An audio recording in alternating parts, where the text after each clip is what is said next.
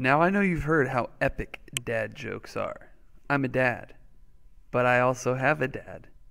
My dad told me this one, so you know it's a good dad joke. What did the old chimney say to the young chimney?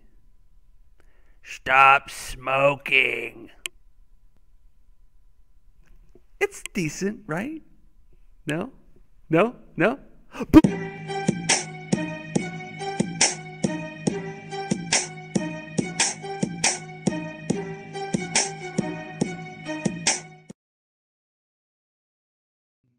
I wore a suit for you today. You should feel special. I put this thing on just to record. So, I'm going for the men in black look, but I didn't have black, so it's gray. Men in gray. Um, what are we doing today? Well, today we're going to be analyzing incidents that provoke decisions and reveal character. Provoke decisions. Provoke means to make something happen. It's almost like you irritate something. Like um, you provoke your little brother to hit you when you constantly steal his Hot Wheels and throw them out the window. You'll provoke him to anger. So um, we're going to be looking at decisions that are made in the book and how those decisions provoke um, actions by other characters and what that reveals about our characters. Buckle up. By the way, you like those transitions? It's pretty cool. I should put some sound effects in, but I think you'd get a little annoyed with me going every time I go to a new slide. So let's look at this. What we did last time is we gathered relevant textual evidence. The, the, mainly that's what we did. We identified evidence to support a claim or a thesis statement. We also said this is a thesis. Thesis. I feel like I'm getting a little better. Um, about Buck's transformation in the wild, being dependent on his changing relationship with man. You might say, his changing relationship with man. Yes, this is basically how is his relationship with Francois and Perrault changing? And how did his relationship with his original master, you know, it changed from his original master in California to uh, being different with Perrault and Francois. And now even and Francois, he's starting to back off a little bit from them. He's starting to be a little more independent and sneaky. So Buck's relationship's changing. Today, we will begin reading chapter 4, Call of the Wild. It's going to be pages 41 to 45 in this version of the book. If you don't have this version, that's fine. I will still let you know where we're at by telling you like the beginning of the paragraph, like the, what the words are at the beginning of the paragraph. Uh, we're going to analyze how incidents in the text provoke characters to make decisions. Okay? Incidents, so things happen that make people make decisions, and reveal insight into Buck's character. I know that sounds kind of confusing right now, but you'll see it when we get there. You'll go, oh, that thing happened, and it made someone make a decision, and it tells us something about Buck. Um, and I will say, there's an unexpected moment in our reading today. Make me a little sad, a little bit sad. I hope you're okay though. But to make me happy, I've added, that's right, the bonus. All right, so we do have a bonus during today's lesson. Make sure you watch it all the way through. If I'm reading too slow for you, I'm going too slow, you can make the video go faster, play it at one and a half times speed or two times speed if you're really brave. Um, I don't sound like a chipmunk, but um, but it does go faster, so you don't have to listen to me as much. All right, be looking for that bonus. What you're going to need today, Call of the Wild by Jack London. Oh, and you can't see it down here. This says Call of the Wild. And my face is covering it. I'll have to move my face. Um, but yes, you need Call of the Wild by Jack London, vocabulary chart, an incident chart on Blue Notebook page 37. Blue Notebook page 37. And you're going to need notebook paper. This is a separate sheet of paper.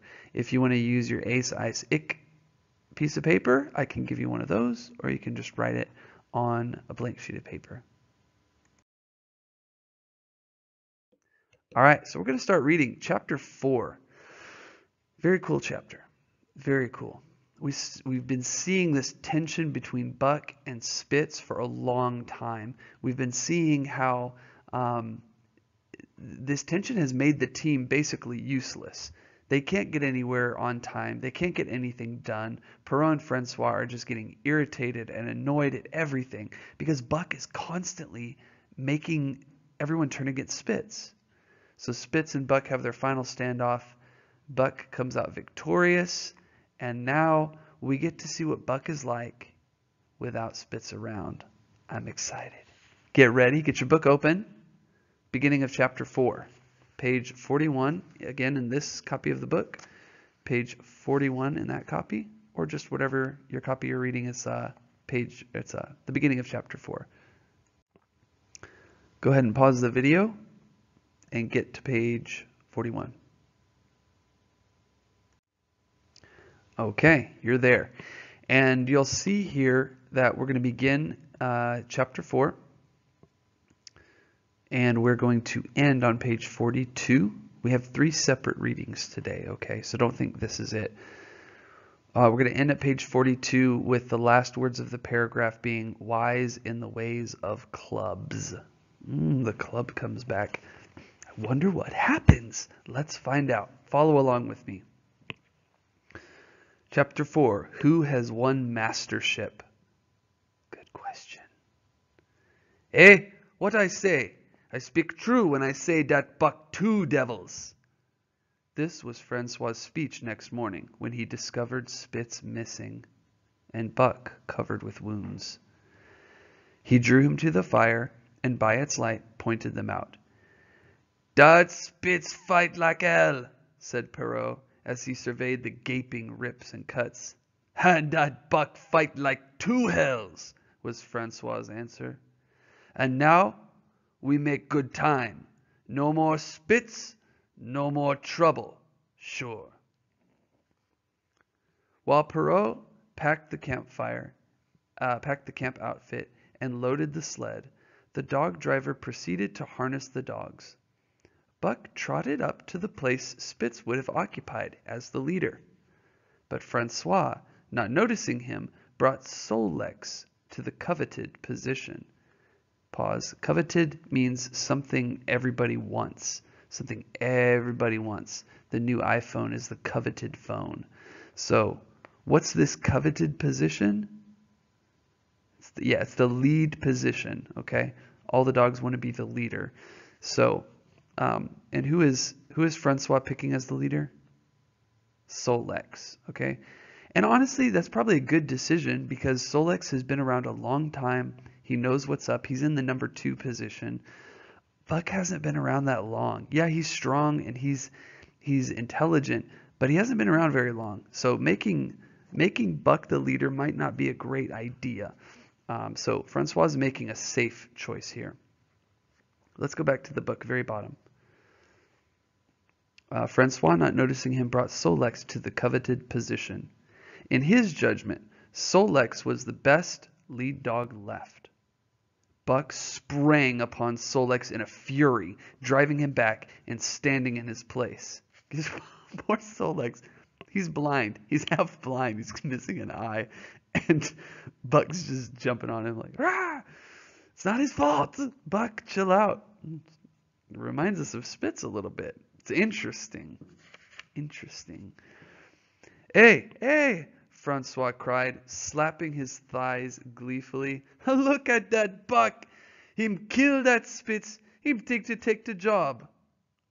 Go away! Shoot! he cried, but Buck refused to budge. He took Buck by the scruff of the neck and threw uh, the dog. Oh, sorry, and though the dog growled threateningly, dragged him to one side and replaced Sol-leks. The dog did not like it and showed plainly that he was afraid of Buck. Francois was obdurate. We're going to talk about that word obdurate, so don't freak out yet. But when he turned his back, Buck again displaced Sol-leks, who was not at all willing to go. Francois was angry. Now, by gar, I fix you, he cried, coming back with a heavy club in his hand. So what's going on here? Buck is doing what?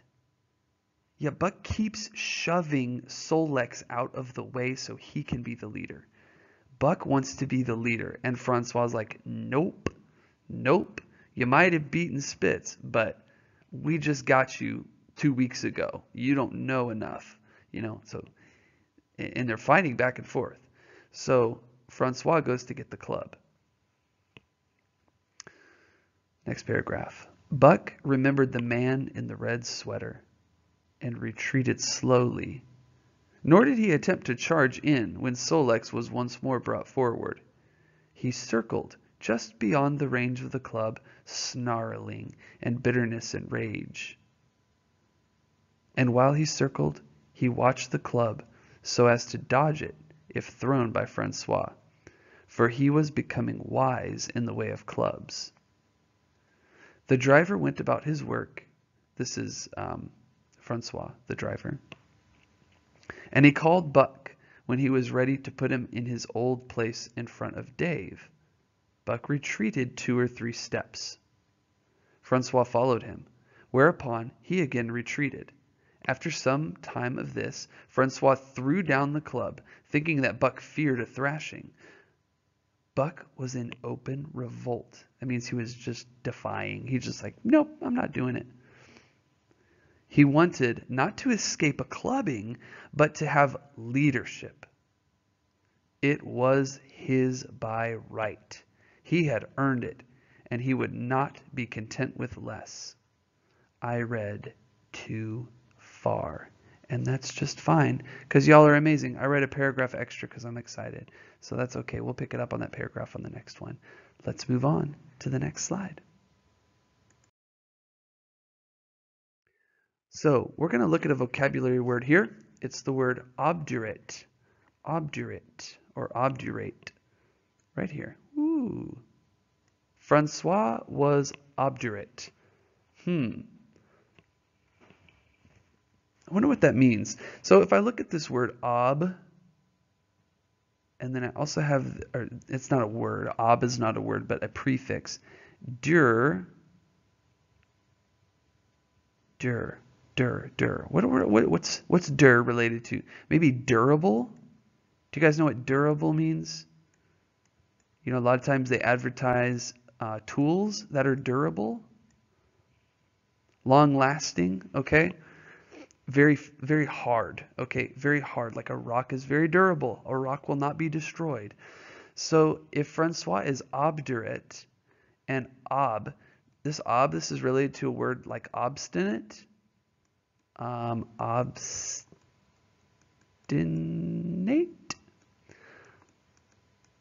um, obsidian. If you've ever heard of the rock called obsidian, it's a black uh, volcanic rock that looks very glassy. Looks like black glass. Oh, obsidian. Okay, Minecraft, right? Obsidian, right? You mine obsidian and it's like really hard. Okay, you got this. So ob, something very hard. Dur, something that can't be broken and durable. So when it says Francois was obdurate, but when he turned his back, Buck again displaced Sol-leks, what do you think obdurate means in that context? It doesn't mean Francois was rocky. What does this mean, though?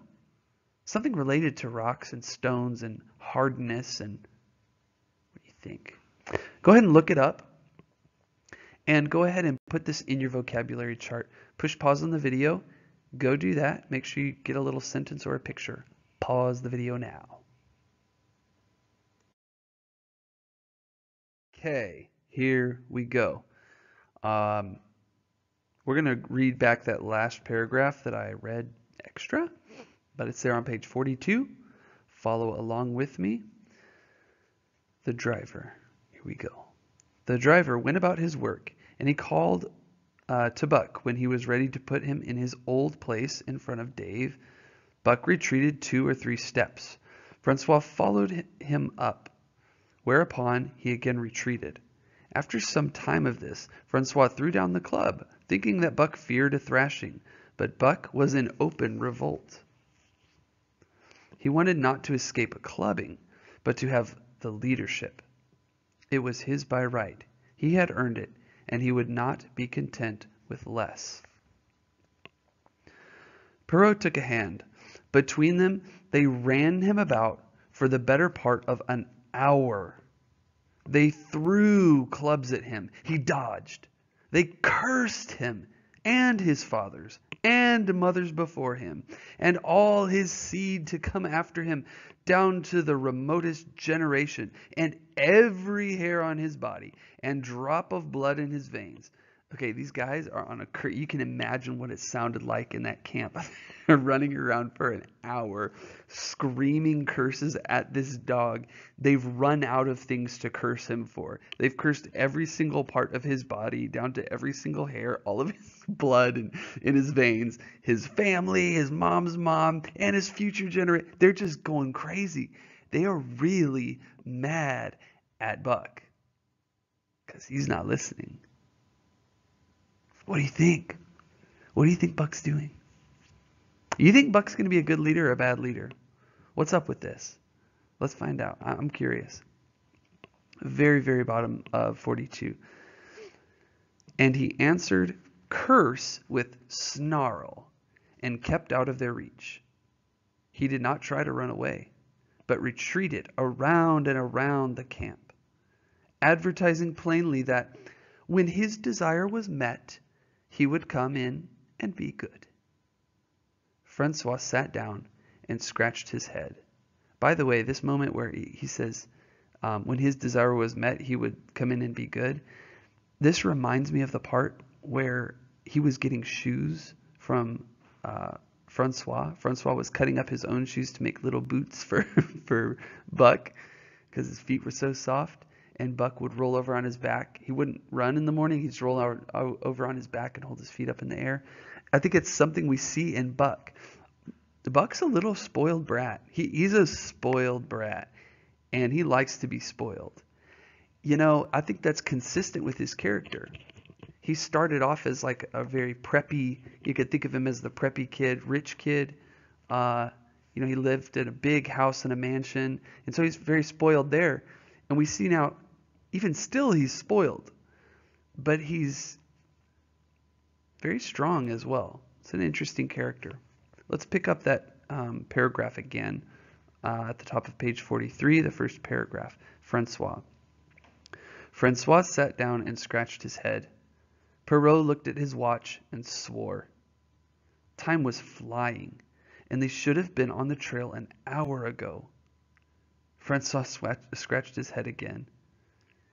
He shook it and grinned sheepishly at the courier, who shrugged his shoulders in sign that they were beaten.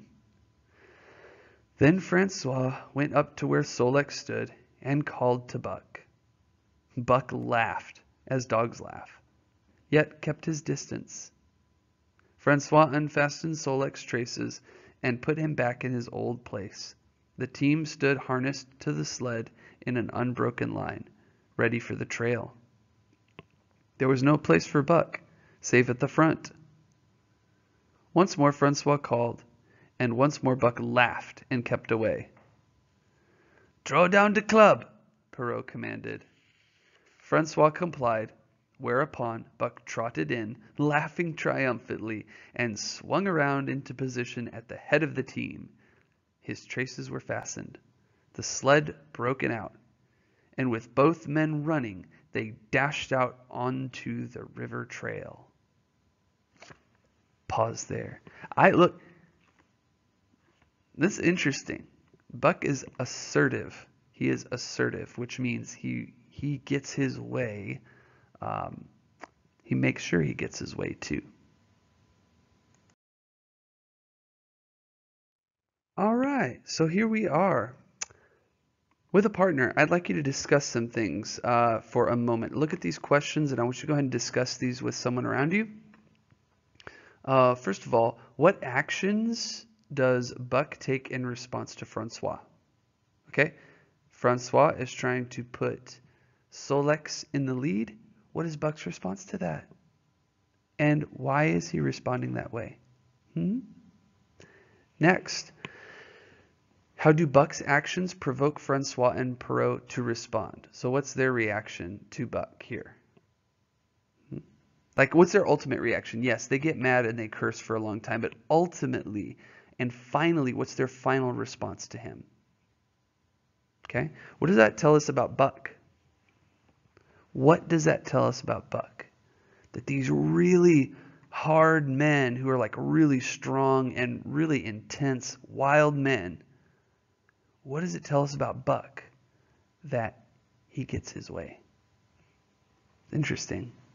Okay, I want you to go and pause the video here, discuss these, take uh, take two or three minutes and just discuss your thoughts on this. Um, debate with someone around you, see if you can figure it out. Uh, again, take about three minutes, pause the video now. All right, so you are done with your conversation. If you're not, pause the video and do it. But if you are done, then go ahead and turn in your blue notebook to page 37. It's this little guy right here. Page 37. Pause if you need to get there. All right, so you are there, page 37, and you'll see incident summary on the left and observations and inferences on the right. I'd like you to fill in just this one top one. Oops, I'm sorry. Hit the mic. Uh, this top, just this top um, row. Okay, one. One incident. Um, Buck getting the lead spot. Okay, summarize basic summary of what happened. Do that. And then what does this tell us about Buck? So basically everything you just discussed here, all of this, this is like where is it? Okay, what actions Okay, so look, this is like summary. Right here, the summary of what happens. It goes right here. Woo! And then your interpretation. What does this tell us about the character of Buck? That goes right here. See? No wasted time. Go ahead and fill that in. Then you move on to the next slide. Pause it here. Okay, welcome back. We're going to continue in chapter 4 and some unexpected things happen. I'll be honest with you. I wasn't expecting this when I started reading this chapter. All right, so we're on page 43. And um, as we read this section, I want you to be thinking about another incident that you'll pick out of your choice. Okay, there are a couple of things that happen here, but uh, but I would like you to pick your own, and you'll fill in another incident on your incident chart. So just so I can, I'll draw it here so you can see. So we already filled in this one. Yes, we did that one. And yes, we did that one. So we'll go for number two here. So while we're reading, just be thinking about that. All right, so page 43, we're going to start with Hiley as the dog, and we're going to end on page 45 at the end of the paragraph, which says Buck's life for good. Ooh, Buck's life for good. Okay, let's see what happens. Hiley as the dog driver had forevalued Buck with his two devils he found, while the day was yet young, that he had undervalued. Push pause. Awkward sentence. I don't know if you guys know this, but Jack London, he learned to write by copying British authors, hand copying. He would, you know how sometimes I give copy work, I'm like, y'all were bad. You need to copy paragraphs. And you're like, why do we got to do this, Mr. Faerber? And I'm like, because this is actually how writers learn to write sometimes. And you're like, no, it isn't. Well, yes, actually it is. Jack London taught himself to write by hand copying novels of British authors. British authors have a really awkward way of writing sometimes that doesn't make a lot of sense to Americans. This sentence is one of them. Let's try it one more time and let's see if you can figure out what this sentence is saying. Let's start over. Oof, it's very British though. Highly as the dog driver had forevalued Buck with his two devils, he found, while the day was yet young, that he had undervalued. Okay. Let me translate this. It's saying that Perrault was like, dang, Buck is two devils worth of a dog, meaning Buck's intense. And it says by the end of the day, they strapped him into the leadership role, and by the end of the day, he found out that two devils, that wasn't even enough. He's way more intense than that. He's like, two devils? That's not enough. I undervalued him. So let's read about it. At a bound or at a jump, Buck took up the duties of leadership. And where judgment was required, and quick thinking, quick acting, he showed himself the superior, even to Spitz, of whom Francois had never seen an equal. So Francois had never seen a dog better than Spitz. And Buck is blowing it out of the water. Buck is making Spitz look like a total moron, okay? So let's go next one. But it was in giving the law and making his mates live up to it that Buck excelled. Dave and Sol-leks did not mind the change in leadership. It was none of their business. Their business was toil and toil mightily. That means work and work hard in the traces. So long as they were not interfered with, they did not care what happened. Billy, the good natured, could lead for all they cared so long as he kept order. The rest of the team, however, had grown unruly during the last days of Spitz, and their surprise was great now that Buck proceeded to lick them into shape. Pike, who pulled at Buck's heels and who never Pike's the malingerer, by the way, the faker. Pike, who pulled at Buck's heels and who never put an ounce more of his weight against the breastband than he was compelled to do. That means he's kind of lazy at his job. He was swiftly and repeatedly shaken for loafing. That means taking it easy. And ere the first day uh, was done, he was pulling more than ever before in his life. The first night in camp, Joe, the sour one, was punished roundly a thing that Spitz had never succeeded in doing. Buck simply smothered him by virtue of superior weight, basically just sat on him until he couldn't breathe anymore, and cut him up till he ceased snapping and began to whine for mercy. I know you've seen dogs do that. The general tone of the team picked up immediately. It recovered its old solidarity. Solidarity. Solid means all together, togetherness. It's solid. It's not liquid, it's not gas, it's solid, all together. The team recovered its solidarity, and once more the dogs leaped as one dog in the traces. At the Rink Rapids, two native huskies, Teek and Koona, were added, and the celerity or speed with which Buck broke them in took away Francois's breath. Ne'er such a dog as dat Buck, he cried. No, nary. Him worth un thousand dollars, by gar, eh? What you say, Perrault? And Perrault nodded. He was ahead of the record then, and gaining day by day. The trail was in excellent condition, well packed and hard, and there was no new fallen snow with which to contend. It was not too cold. The temperature dropped to 50 below zero and remained there the whole trip. The men rode and ran by turn, and the dogs were kept on the jump, but infrequent stoppages, with infrequent stoppages. The 30 mile river was comparatively coated with ice, and they covered it in one day, going out what had taken them 10 days coming in. Hold up. Buck got them through in one day what it took them 10 days to cover with Spitz. Like, that's amazing. And it's not just because he's fast. I mean, the trail is better. Um, everything is everything is better. Like all the conditions are better, but still, you know, Buck is Buck is the one making it happen. It's the very top of the page. In one run, they made a 60 mile dash from the foot of Lake Le Barge to the White Horse Rapids, across Marsh, Tagish, and Bennett, 70 miles of lakes. They flew so fast that the man whose turn it was to run towed behind the sled at the end of a rope. And on the last night of the second week, they topped White Pass and dropped down the sea slope with the lights of Skagway and the shipping at their feet. It was a record run. So push pause. They just arrived at like a town, okay, called Skagway.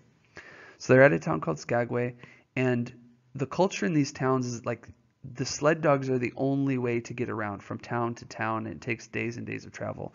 So everyone in these towns has these sled dogs and it's a bunch of men, so they're super competitive, and they're all trying to break the record of who can go fastest between the towns. And Francois, Perrault, Buck just killed the record. They just killed the record when they arrive in Skagway. Okay, so let's see what happens. I'll uh, start again in that paragraph. It was a record run. Each day, for 14 days, they had averaged 40 miles. For three days, Perrault and Francois threw chests up and down the main street of Skagway and were deluged with invitations to drink. That means like they were walking with their chests thrown up. It means they were like, ha ha ha, look, we got here. Ha ha ha, we broke the record. And then everyone in the town is just like, hey, let me get you a drink. Come on in here. Let me treat you guys. You're famous. Good job.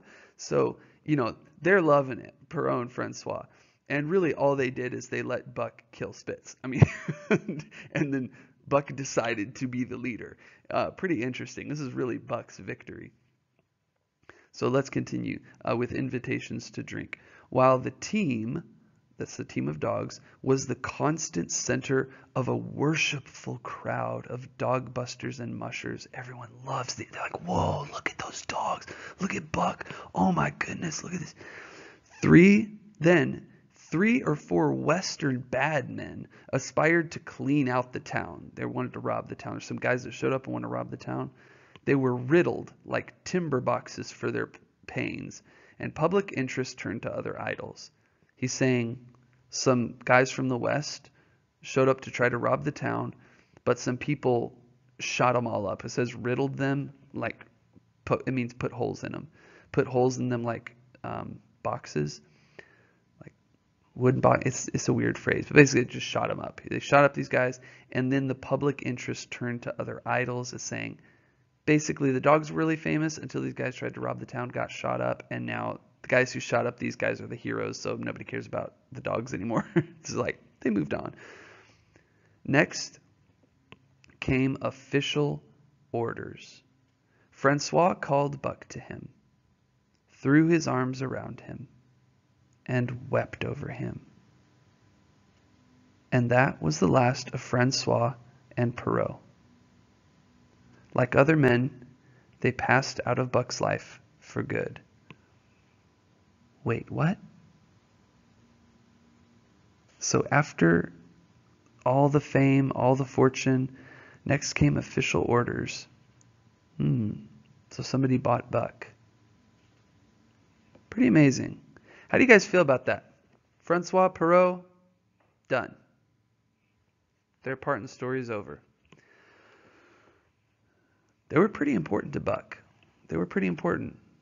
What do you think? Do you think Francois and Perrault were important, or do you think they just kind of Buck would have developed into an amazing sled dog anyway? What's your thought? I want to know what your opinion is. In fact, as a bonus, very secret bonus, I'm not leaving it up long. Um, I do want to know what your thought is on this. the very top of page 37, right here, I want you to put a little star. Put a little star right here. And I want you to write, do you, uh, I want you to write your quick opinion, just one sentence. Do you think Francois and Perrault were necessary for Buck to become amazing, or do you think Buck had greatness in him all along? What are your thoughts? Fill it in as a bonus, and I'll give you a Bears ticket signature. I think I owe you guys some other ones, uh, so I'm going to get you those. All right? Good job. Okay, the last thing we're going to do is you need a blank sheet of paper, your own sheet of paper that you're going to put inside of this booklet here. Um, how do Buck's actions throughout chapter 4 provoke decisions, and reveal new insights into his character. now, I realize that on the last slide, I forgot to just remind you, but I'm going to do it now. You do need, uh, whoop, you do need this done right here and this done. Pick any other event from chapter 4 to fill in here, and then maybe you did the bonus up here as well. Okay, so you've got those. You've got those, they're done. Good. All right, now let's look at this. Uh, this is going to be an acyclic paragraph because it's it's a paragraph. right? a paragraph. That includes a claim, logical reasoning, relevant evidence. Hmm. So great. This is ace You got that. Ace I don't have to write the whole thing out. You know what I'm saying. Right there. All right, ace Isaac. How do Buck's actions throughout chapter 4 provoke decisions and reveal new insights into his character? How do they reveal new insights into his character? I'm going to let you think about that, brainstorm on that, and answer that question. Pause the video, come back when you're done. You did so good. You did so good. I hope you're feeling these Isaac paragraphs are getting easier and easier. That's my goal is you're going to rock these things. Okay, so in this lesson, you started reading and discussing chapter 4, Call of the Wild. You also analyzed how incidents in the chapter provided key decisions and revealed insights into Buck's character. I'm excited to find out what's Buck going to do under someone else's leadership. Is is the person that Buck is going to be working for, are they going to understand what a genius Buck is or are they going to take him for granted? I'm not too sure. We're going to find out together. I'm looking forward to it, and I will see you in the next lesson. Peace.